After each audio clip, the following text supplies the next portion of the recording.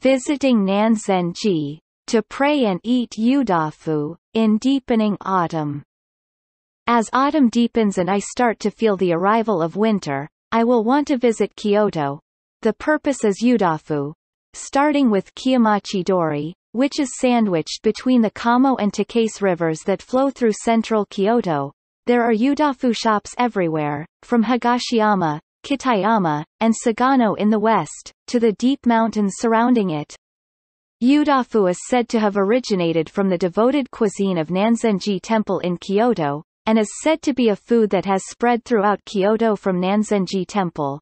When Yudofu was born in Nanzenji, it used yaki dofu, which was different from the current Yudofu in Kyoto.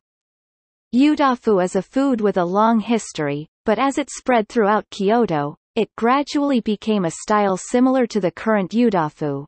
It is now popular with foreigners visiting Japan, and there are even foreigners who order yu tohu